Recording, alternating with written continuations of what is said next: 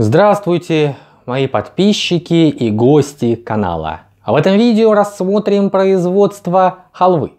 Машинно-аппаратурные схемы производства халвы мокрым и сухим способом. Свойства халвы и сырья для халвы.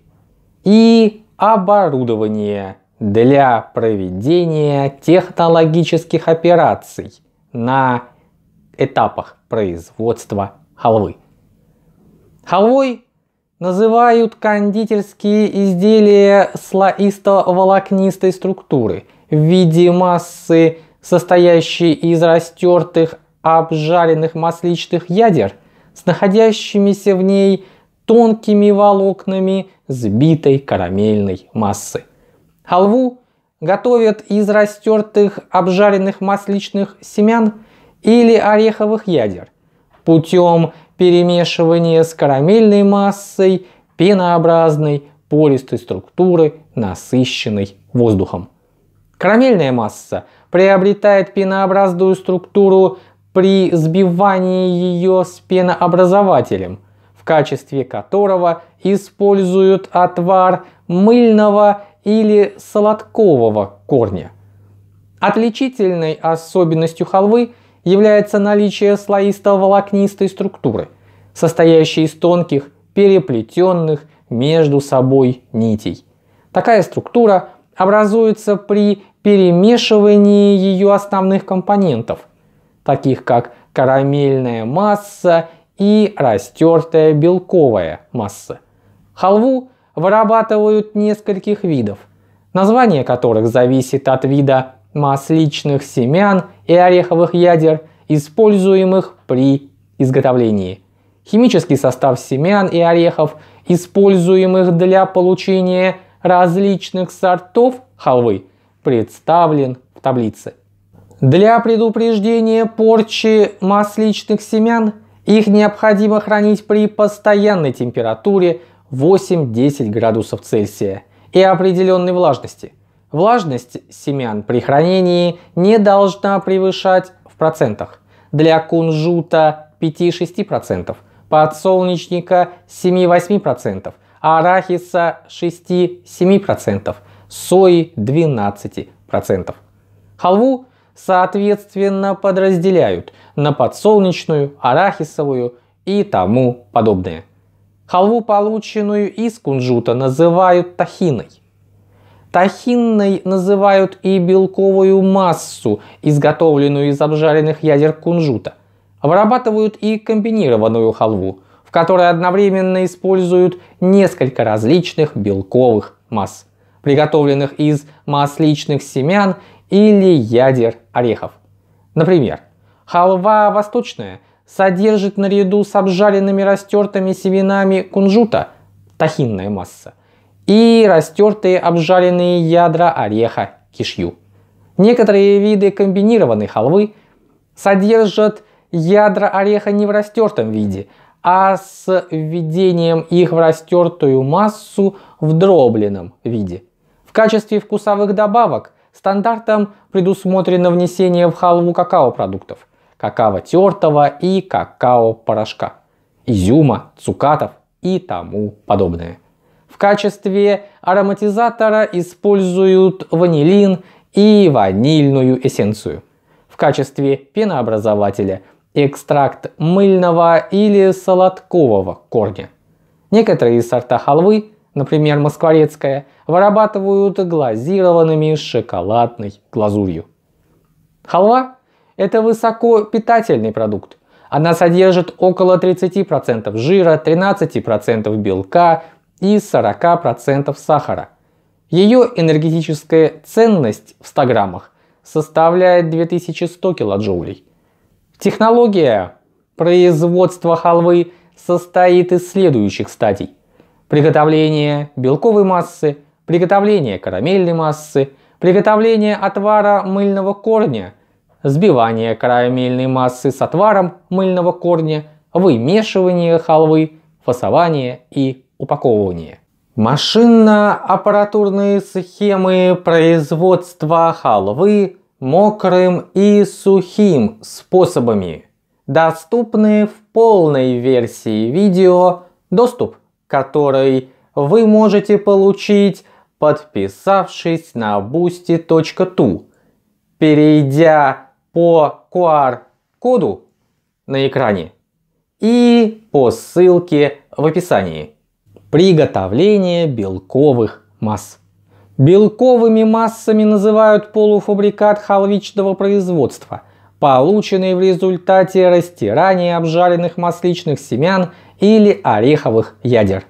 В этой массе жировая и нежировая, в основном белковая, часть семян или ореховых ядер приблизительно содержатся в равных количествах. Размер частиц белковой массы около 100 микрометров. Массовая доля жира таких масс составляет от 45 до 60%. Подсолнечная масса содержит обычно недостаточное количество жира и поэтому ее обогащают маслом подсолнечным до массовой доли жира около 60%.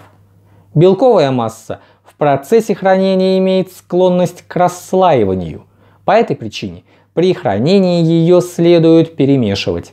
Способы получения различных белковых масс зависят от их вида. Масличные семена, поступающие в производство, обычно содержат различные загрязнения, примеси минерального и растительного происхождения, зерна других культур, поврежденные семена, феропримеси и тому подобное. Поэтому Перед использованием это сырье подвергают очистке на воздушно-сетовых сепараторах, веялках, буратах и только после этого обрушивают, снимают с ядра семенную оболочку. Так как связь оболочки с ядром кунжута, подсолнечника, арахиса и так далее различна, то и способы их обрушивания не одинаковы. Для очистки масличных семян от посторонних примесей применяют воздушно-сетовые сепараторы типа ZSM.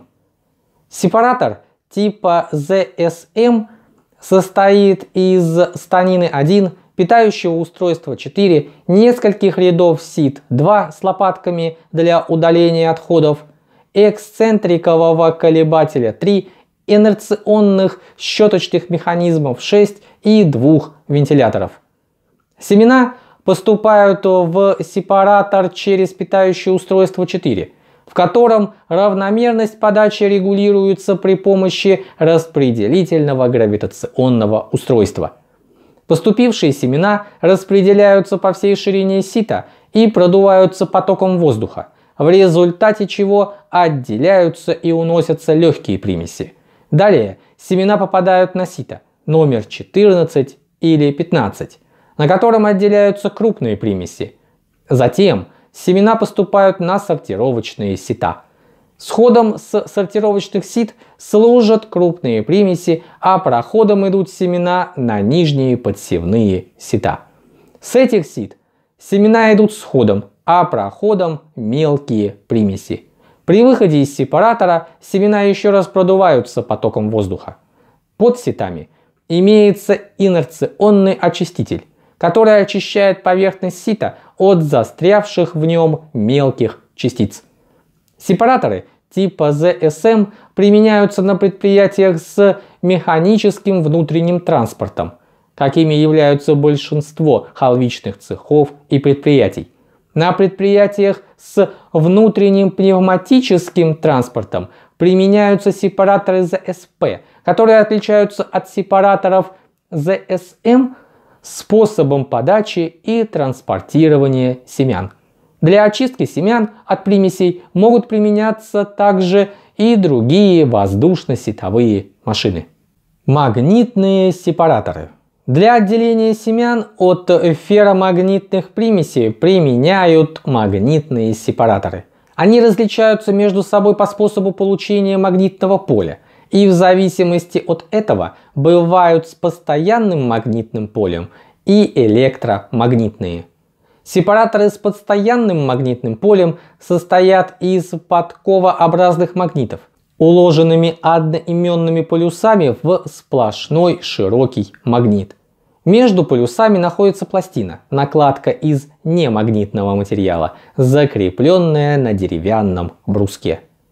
Для лучшего распределения семян в магнитном потоке служит заслонка для регулирования скорости их движения, благодаря чему ферромагнитные примеси улавливаются значительно лучше. Прикрепившиеся к магнитам примеси удаляют вручную, для чего сначала прекращают подачу продукта, а затем очищают магниты деревянным скребком. Магниты массы 1 кг перемагничиваются через 5-6 месяцев. Электромагнитный сепаратор состоит из станины 1, крыльчатого побудителя 8, заслонки 7 для регулирования толщины слоя поступающего продукта, заслонки 2, при помощи которой продукт направляется в запасной самотек в случае прекращения питания электромагнита током, канала 3, в котором движется продукт, скрипка 4 для снятия задержанных ферромагнитных примесей и вентилятора для охлаждения электромагнитной системы. Винт 6 служит для регулирования толщины слоя семян. Проходя по каналу 3, мимо магнитного экрана 5, который имеет ступенчатую, несколько вогнутую форму, семена очищаются от ферромагнитных примесей. В станине предусмотрено два ящика для сбора ферромагнитных примесей. Промывочная машина. Для удаления посторонних примесей из кунжутных семян применяют промывочные машины. Промывочную машину можно устанавливать в линию после воздушно-светового сепаратора или использовать самостоятельно. Машина состоит из закрытого съемного кожуха 7, предотвращающего разбрызгивание воды, цилиндрического сита 4, приводного вала 3 с четырьмя лопастями 5, загрузочного бункера 1, штуцера для подачи воды 2, отверстие 3 в поддоне 8 для вывода примесей, разгрузочного лотка 6 для кунжутного семени. Семена поступают в машину через загрузочный бункер 1, а вода через штуцер 2. Под действием центробежной силы, лопастей и воды примеси проходят сквозь отверстие сита и удаляются вместе с водой в канализацию. Промытое кунжутное семя выгружается лопастями через лоток 6. По физическим свойствам и связи с ядром оболочка кунжута отличается отсутствием хрупкости, значительной эластичностью и плотным без зазоров прилеганием к ядру. Между оболочкой и ядром имеется слой, легко набухающий в воде. При этом оболочка – ставшая еще более эластичной, может быть легко снята с ядра при механическом воздействии на семя. Такой способ обрушивания называется мокрым. Для замочки кунжутного семени применяют металлические, деревянные, цементные чаны в периодическом способе. Вместимостью от 0,1 до 0,5 кубического метра. Или машины непрерывного действия – Схема машины непрерывного действия представлена на экране. В шнековой камере корытообразном сосуде 3, расположенный наклонно и снабженный крышками 5, периодически вращается шнек 4. Кунжут поступает на замачивание через воронку 1, а выходит через патрубок 6. Две трети длины сосуда заполнены водой. Здесь семя кунжута замачивается – а на одной трети сосуда оно отлеживается. Постоянный уровень воды в шнековой камере поддерживается электронными сигнализаторами уровня 2. В нижней части шнековой камеры имеется отвод с краном 8 для слива воды. Отверстие отвода закрыто сеткой 7. Для обеспечения полного стекания воды из зоны отлеживания шаг шнека уменьшен – поэтому скорость движения семени замедляется. Для ускорения процесса замачивания кунжутное семя перед загрузкой в машину предварительно промывается в реконструированной протирочной машине. Реконструкция заключается в изменении устройства лопастей и смене сетчатого барабана. Семя замачивается в воде температуры 40 градусов Цельсия и вылеживается в течение от 45 минут до 5 часов, в зависимости от сорта кунжута. Для ускорения замачивания можно применять 1% содовый раствор. Необходимое соотношение продолжительности замочки и вылеживания 2 к 1. В течение этого времени содержание влаги в семенах доходит до 30-35%, а в оболочке до 40-45%. Оболочка у набухших семян несколько растягивается, отслаивается от ядра, легко разрывается и отделяется при надавливании и трении. Кунжут обрушивают в машинах, принцип действия которых основан на том, что движущийся рабочий орган энергично перемешивает кунжут и вызывает взаимное трение семян. Это приводит сначала к разрыву увлажненной набухшей оболочки, а затем к снятию оболочки с ядер. Эти машины бывают периодического и непрерывного действия. Устройство и принцип действия машины для обрушивания кунжута, бичерушки МРН для обрушивания подсолнечника, вечной машины, установки для отделения оболочки от ядер кунжута, соломура моечной машины непрерывного действия и схемы аппаратов для термообработки ядер кунжута и сведения об измельчении этих ядер представлены в полной версии видео, доступ к которому вы можете получить на boosty.tu, став нашим подписчиком. Переходите по QR-коду на экране, подписывайтесь и получайте доступ к полной версии этого видео. Центрифуга ТВ-600 Содержащаяся в кунжутных ядрах влага разделяется на два вида – поверхностная и внутренняя. Поверхностная влага удаляется довольно легко при помощи центрифугирования. Наиболее часто для удаления поверхностной влаги из ядер в халвичном производстве применяется центрифуги типа ТВ-600 периодического действия с ручной выгрузкой. Центрифуга ТВ-600 состоит из вертикально расположенного сетчатого вращающегося барабана 3, насаженного на вал 4, электродвигателя 5 и неподвижного кожуха 2. Для уменьшения вибрации станина с кожухом, барабаном и электроприводом подвешена при помощи вертикальных тяг на трех стойках 1, расположенных под углом 120 градусов. В барабане есть отверстие размером 3 мм для подсолнечных ядер и 1,5 мм для кунжутных. Центрифугу включают после загрузки ее ядром. Под действием центробежной силы ядра прижимаются к сетчатому барабану, через отверстие которого удаляется вода. Продолжительность центрифугирования 2-3 минуты. После чего машину выключают и ядро выгружают вручную совком. Получаемая тахинная масса имеет кремовый цвет, приятный вкус и температуру 45-60 градусов Цельсия.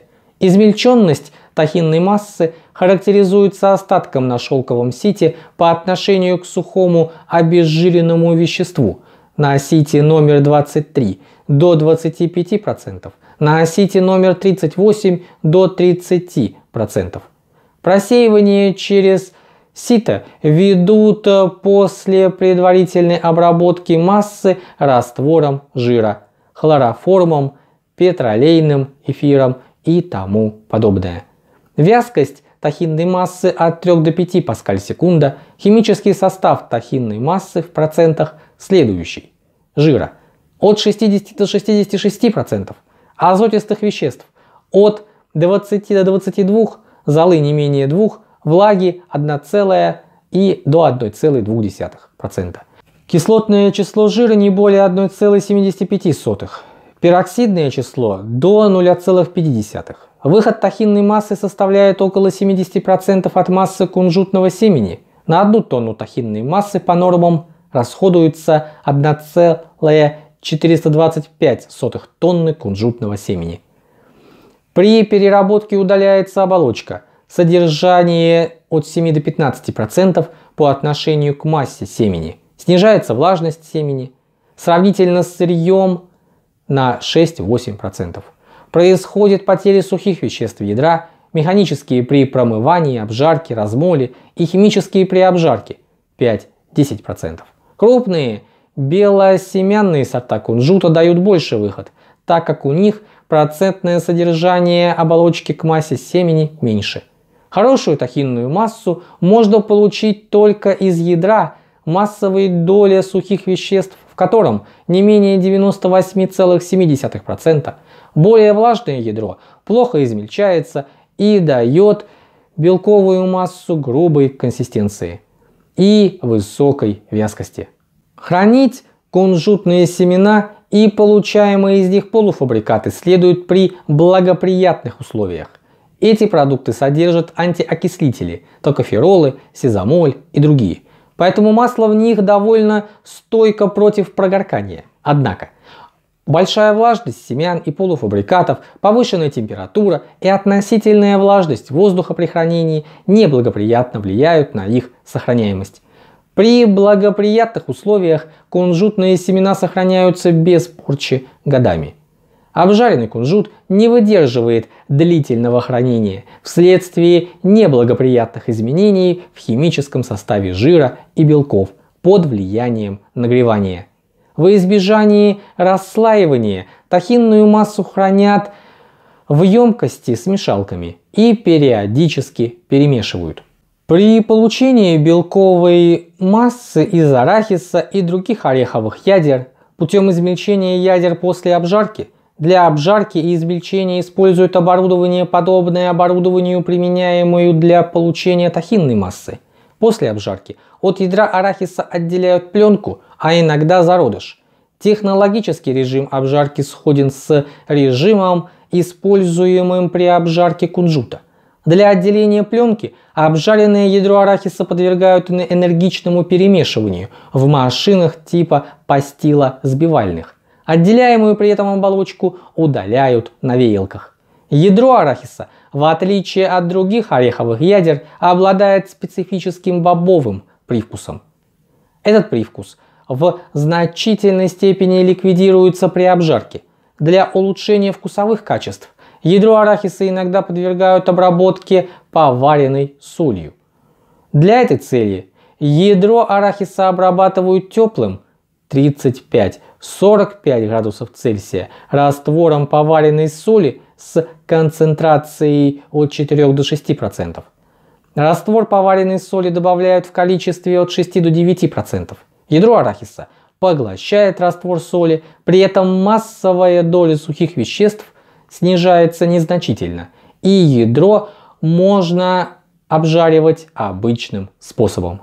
Продолжение смотрите в полной версии видео, которая доступна по подписке на boosty.tu. Переходите по QR-коду, подписывайтесь и смотрите полную версию видео.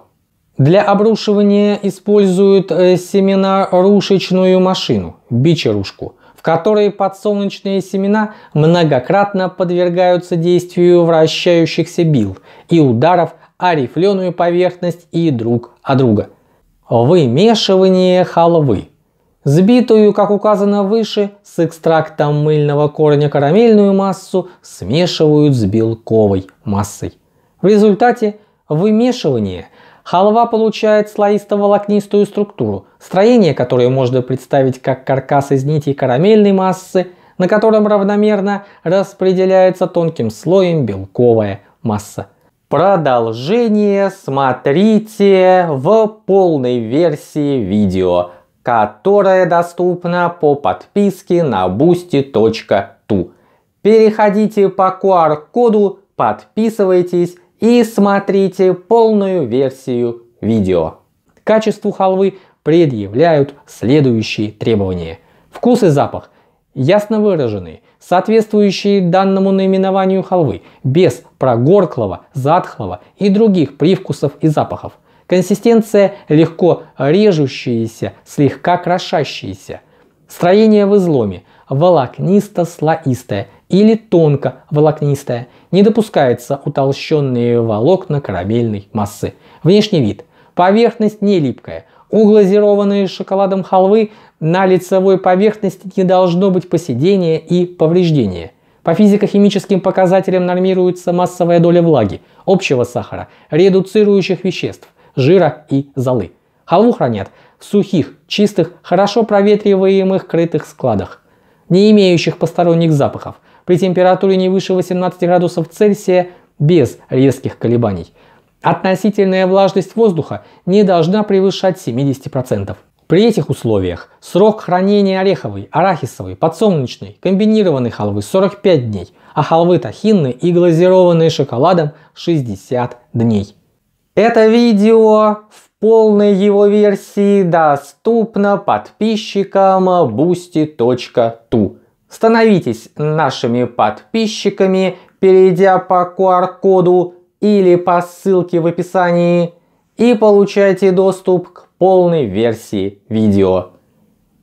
Это видео одно из уникальных, доступных только для подписчиков boosty.tu. Присоединяйтесь и получайте больше информации, чем выложено на YouTube.